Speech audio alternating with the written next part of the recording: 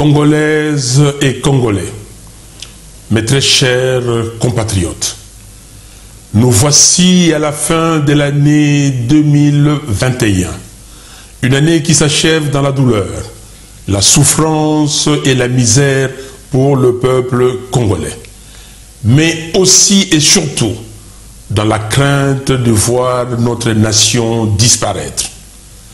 Le 25 décembre dernier, jour de la nativité, la ville de Béni a connu une explosion qui a tué plusieurs de nos compatriotes. L'horreur de cet acte odieux est venue se greffer aux tueries et massacres enregistrés dans la partie est de la République. Je présente mes condoléances à toutes les familles qui ont perdu des êtres chers cette année à cause de l'insécurité généralisée. Les esprits pernicieux veulent tuer notre pays, la République démocratique du Congo, que nous avons reçu en héritage de nos aïeux.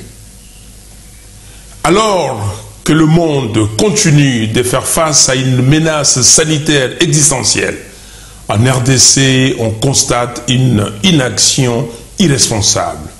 Seulement 0,1% de la population congolaise est vaccinée contre la Covid-19 à ces jours, les taux le plus faible d'Afrique. Mes très chers compatriotes, j'ai une fois de plus l'honneur de m'adresser à vous en tant que celui que vous avez majoritairement porté lors de la présidentielle de décembre 2018 pour défendre nos valeurs et reconstruire notre nation. Depuis, je n'ai eu de cesse de prendre chaque jour et à chaque instant la mesure de cette responsabilité. En cette fin d'année 2021, pleine de souffrances et d'épreuves, alimentée d'une part par l'inacceptable guerre qu'on nous a imposée dans la partie est de notre pays, et d'autre part par la misère dans laquelle croupit notre population, je ressens davantage cette lourde responsabilité. C'est pourquoi je ne reculerai jamais et je ne m'écarterai nullement de cette volonté ferme qui m'habite d'élever à chaque fois que cela est nécessaire l'étendard de la résistance contre toute forme de violation des règles constitutionnelles, d'injustice, des trahisons de la patrie, des corruptions, des pillages des deniers publics, des mensonges, des violations de l'intégrité de notre territoire, d'antivaleurs et d'atteinte aux droits fondamentaux des Congolais. C'est l'essence même de notre combat. Mes très chers compatriotes, du Congo hold-up, en passant par les hold-up électorales de 2018, au hold-up du programme des 100 jours et à l'escroquerie du RAM, sans oublier les détournements en tout genre, notamment les fonds destinés à la lutte contre la Covid-19 et à la paye des fonctionnaires, on peut aisément réaliser combien et comment notre pays est saigné à blanc par une minorité d'opportunistes sans foi ni loi dont la seule vocation est l'enrichissement illicite. Cette clique prend plaisir à tromper l'opinion avec des slogans creux et des promesses aussi longues que les kilomètres parcourus par Magellan dans le néant. Mes très chers compatriotes, alors que le fonctionnement de la Cour des comptes est paralysé à dessein, l'inspection générale des finances, IGF, symbole d'une lutte cosmétique contre la corruption, sert de paravent à un système de pillage institutionnel bien rodé. L'appareil judiciaire demeure aux ordres. Les députés nommés et accrochés à leurs intérêts personnels marchandent de manière éhontée leur collaboration à coups de jeep et autres dessous des tables.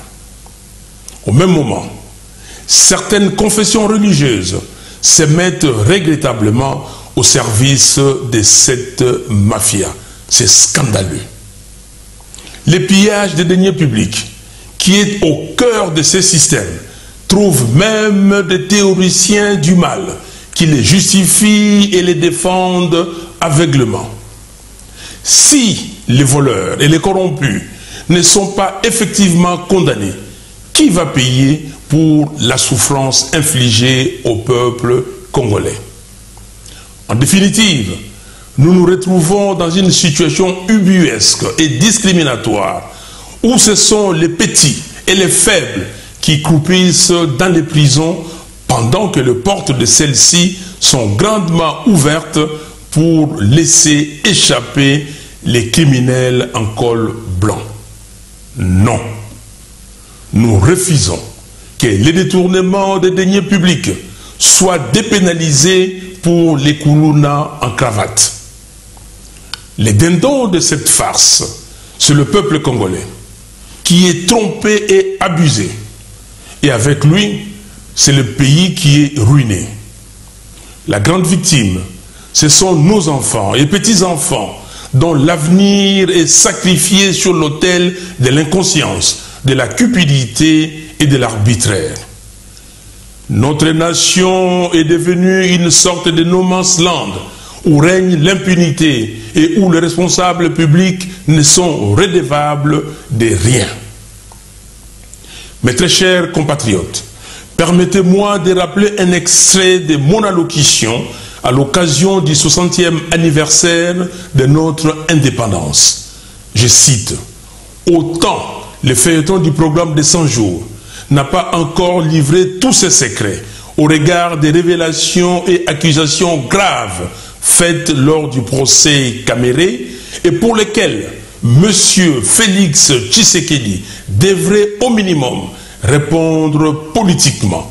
Autant j'exige que toute la lumière soit faite sur l'affaire des 15 millions de dollars de pétroliers, sur toutes les activités du programme de 100 jours, ainsi que sur les détournements des fonds opérés durant les 18 dernières années. Fin de citation.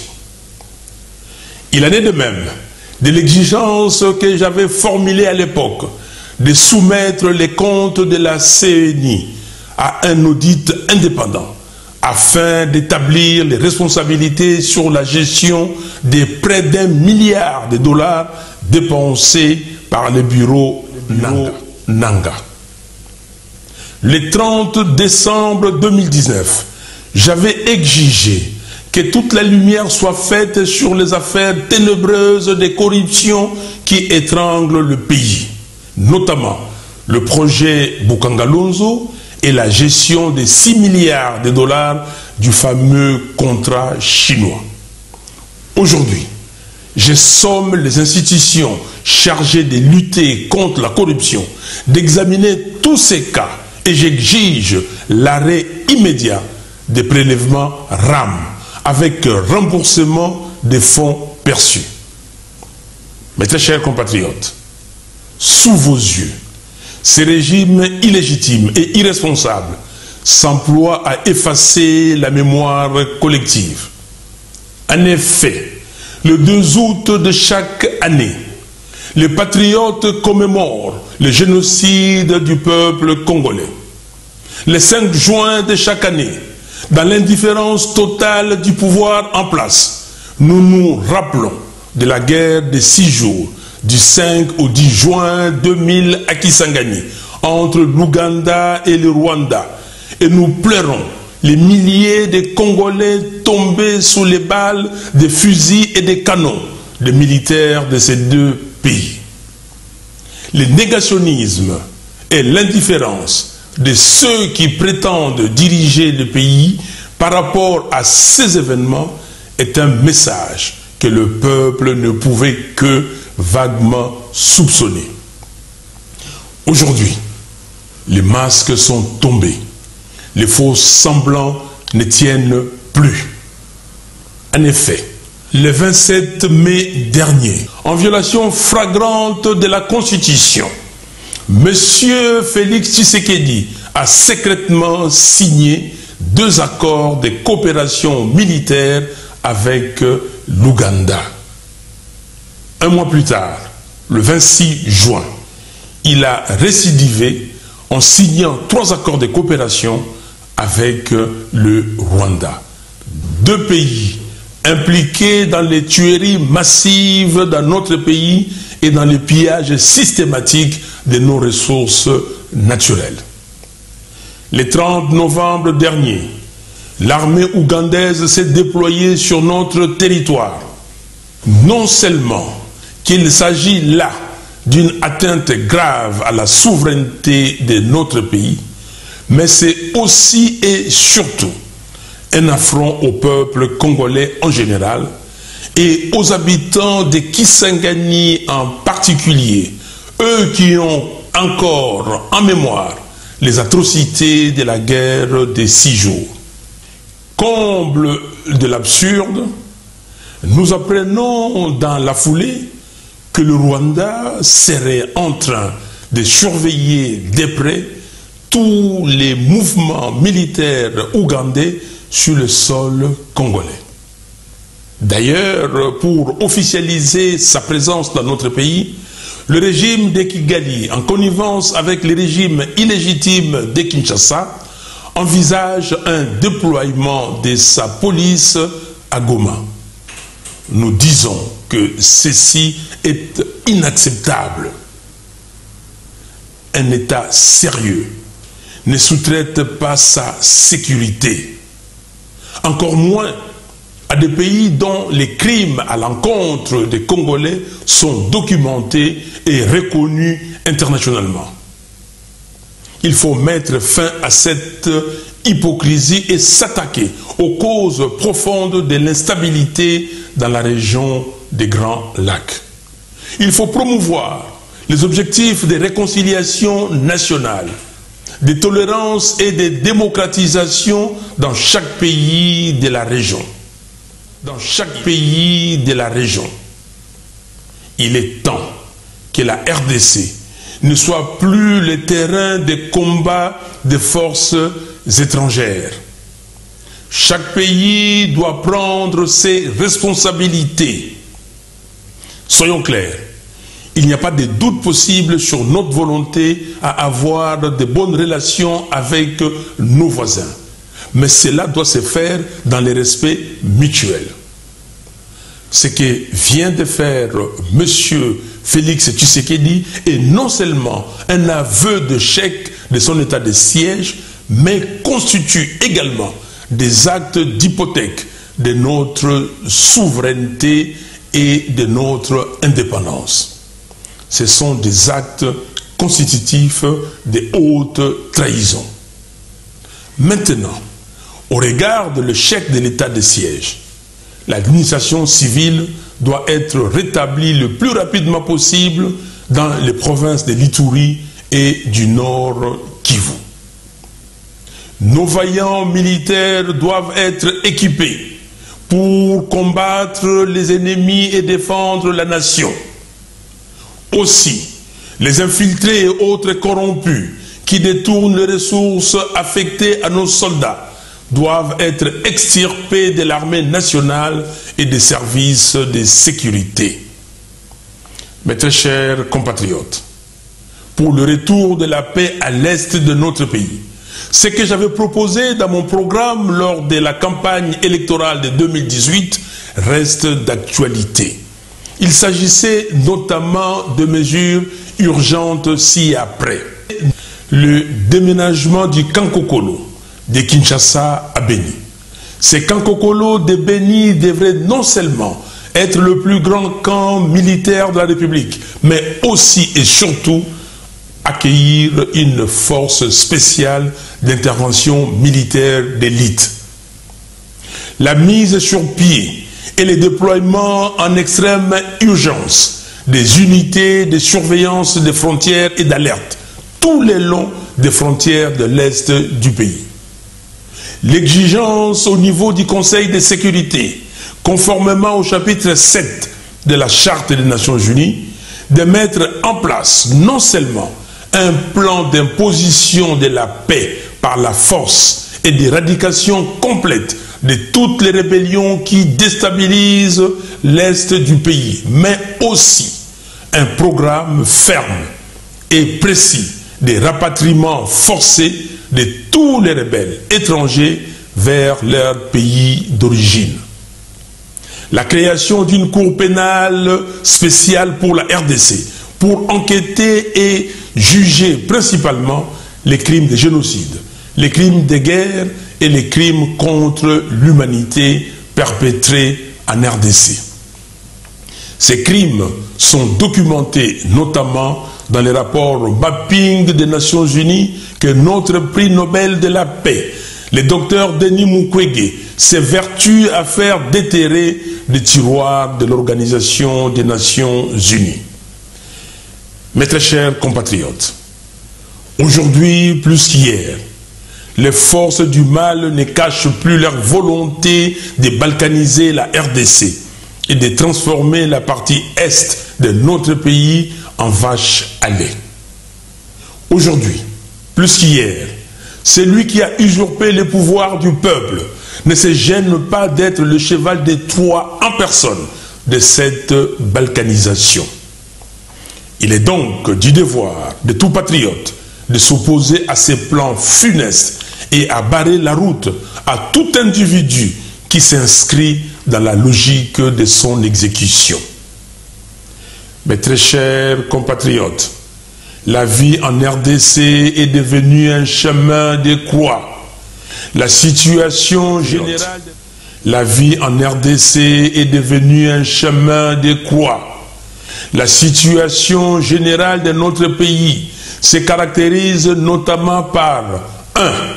Les violations systématiques des droits humains tels que documentés dans les rapports des différentes organisations de défense des droits humains. Les dernières en date sont la répression meurtrière de la journée ville morte décrétée à Goma par les jeunes, ayant occasionné la mort de cinq personnes, parmi lesquelles un bébé. L'homicide de Davin Kalala par les militants d'un parti politique bien identifié.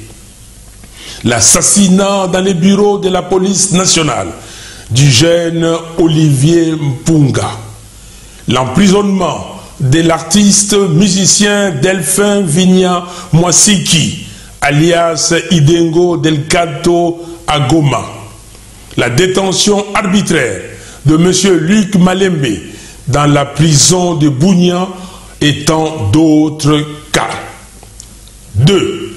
La malnutrition, le faible accès à l'eau et à l'électricité, l'absence de routes, les difficultés des transports, le faible accès aux soins de santé, le chômage massif des jeunes, l'enclavement des milieux ruraux, l'instabilité et le manque d'assainissement, la hausse effrénée des prix sur le marché sont autant de souffrances qui étreignent les Congolais. La RDC occupe le troisième rang mondial pour le nombre de pauvres. 3. Le chèque patent de la gratuité de l'enseignement de base qui nous ramène à la case départ. La contribution des parents aux frais de scolarité a été restaurée.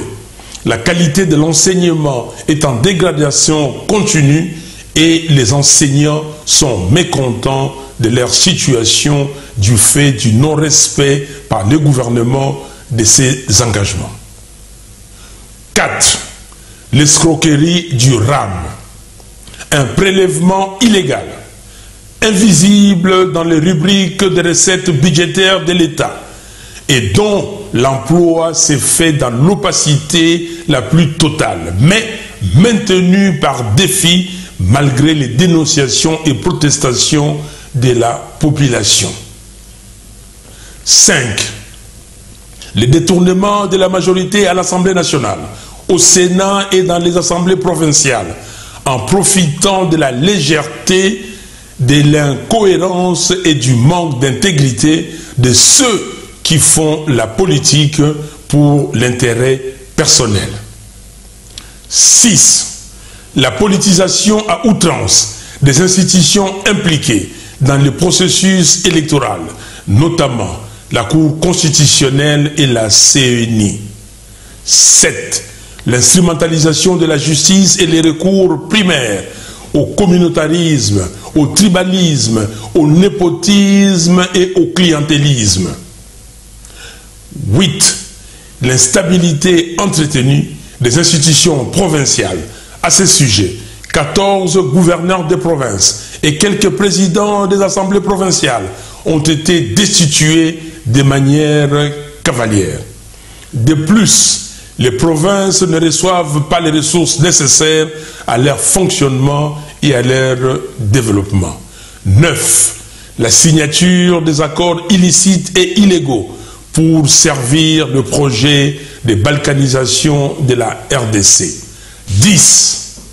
Un état de siège proclamé sans préparation ni planification et prorogé sans fin par un Parlement aux ordres au mépris de l'indignation de la population. Pendant ce temps, les tueries en Ituri et au Nord Kivu se poursuivent. L'absence criante des visions hypothèque l'avenir de notre pays et des générations futures. Mes très compatriotes, permettez-moi néanmoins d'exprimer mon espoir de voir une RDC à la hauteur de son potentiel. Ceci est une conviction et elle est partagée avec tous ceux qui croient en un avenir meilleur pour notre pays. L'espérance, c'est de dire à tous ceux qui voudraient qu'on renonce, qu'on se résigne, qu'on dépose les armes du combat populaire, qu'on ait peur, qu'on ne tente rien et qu'on ne prenne aucun risque. C'est de leur dire que nous n'allons rien lâcher. Nous irons jusqu'à la victoire finale, celle de la récupération du pouvoir du peuple par le peuple et pour le peuple, afin de reconstruire notre pays dans la paix et la cohésion.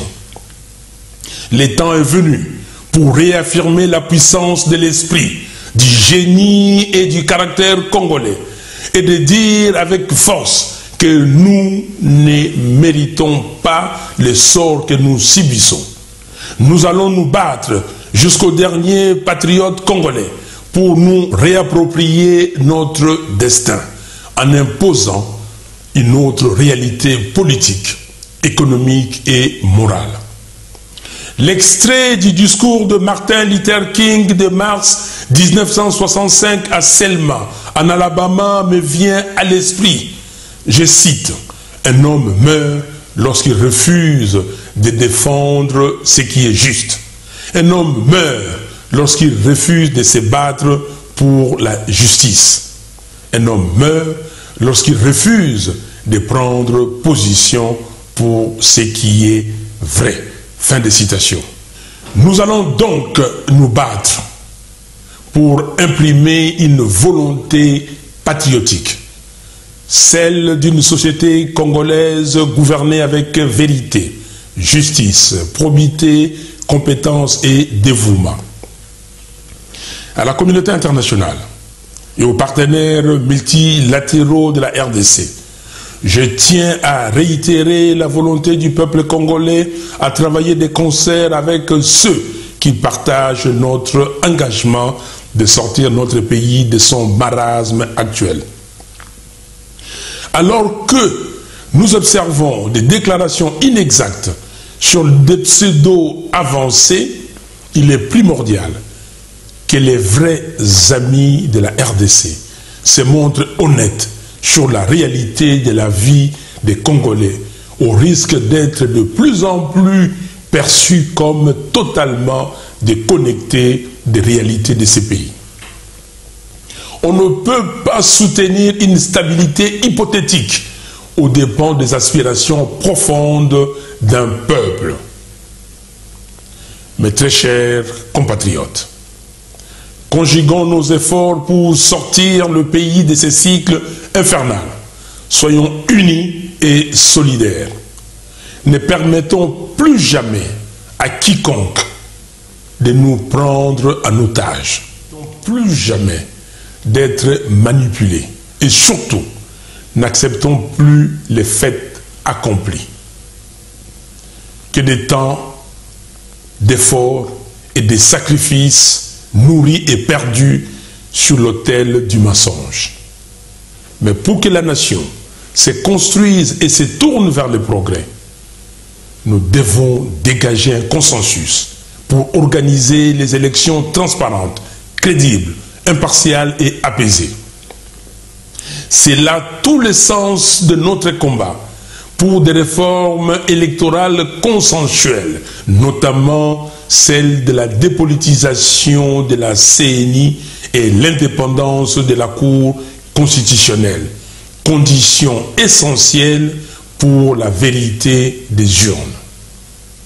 Ainsi, pour s'assurer que la victoire du peuple ne sera plus jamais volée, il est impérieux que l'organe de gestion des élections, la CNI, soit neutre, impartial et dépolitisé. Nous ne pouvons pas tolérer qu'un membre d'un parti politique puisse se cacher derrière une confession religieuse pour de nouveau fabriquer les résultats des élections. Pour faire triompher cette voie de l'espérance, continuons la lutte. Car, comme la Bible le dit dans Galates 6, 9, si nous ne relâchons pas nos efforts, nous récolterons au bon moment. Personne, en effet, quelle qu'elle soit, n'a ni le droit ni le pouvoir de saboter la lutte d'un peuple qui veut se libérer. Ce combat dans lequel nous nous sommes engagés est un combat existentiel pour la renaissance du peuple congolais. C'est pourquoi je tiens à féliciter les nombreux jeunes artistes musiciens congolais pour leur prise de conscience exprimée sous forme de chansons révolutionnaires, dénonçant avec justesse les méfaits de la gouvernance actuelle. Je salue aussi le courage de nos compatriotes détenus arbitrairement dans les prisons du pays pour avoir pris position contre le mal.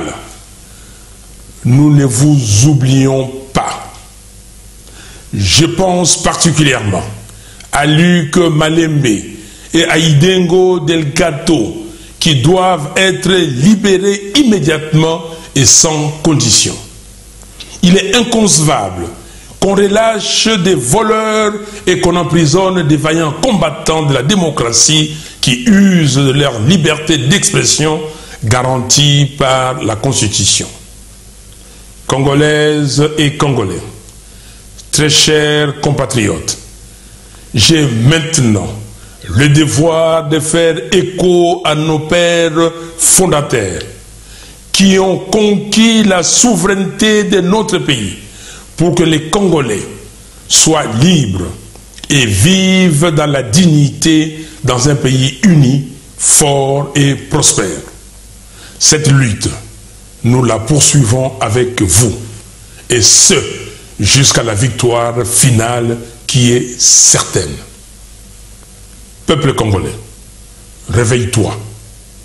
Mobilise-toi pour que l'année 2020, pour avoir pris position contre le mal, nous ne vous oublions pas.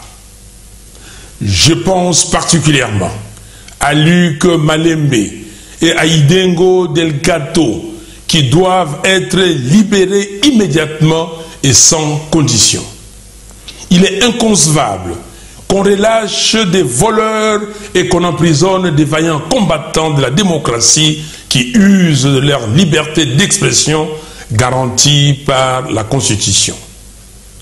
Congolaises et Congolais, très chers compatriotes, j'ai maintenant le devoir de faire écho à nos pères fondateurs qui ont conquis la souveraineté de notre pays pour que les Congolais soient libres et vivent dans la dignité dans un pays uni, fort et prospère. Cette lutte, nous la poursuivons avec vous, et ce, jusqu'à la victoire finale qui est certaine.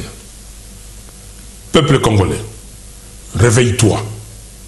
Mobilise-toi pour que l'année 2022 soit celle au cours de laquelle nous allons renforcer les bases de notre victoire prochaine et faire échec à tous ceux qui tentent de nous maintenir sous le joug de la tyrannie et de la pauvreté. Mes très chers compatriotes, levons-nous et battons-nous. Battons-nous pour libérer notre pays. Battons-nous pour que demain, nous puissions construire la RDC. Battons-nous pour que nous puissions vivre en paix et en sécurité dans notre pays. Et battons-nous pour mériter la reconnaissance et le respect des générations futures. Au reste, mes très chers compatriotes, congolaises et congolais, que l'année 2022 soit réellement une année de combat et une année de victoire. Bonne et heureuse année 2022. Que Dieu bénisse la RDC et son vaillant peuple. Je vous remercie.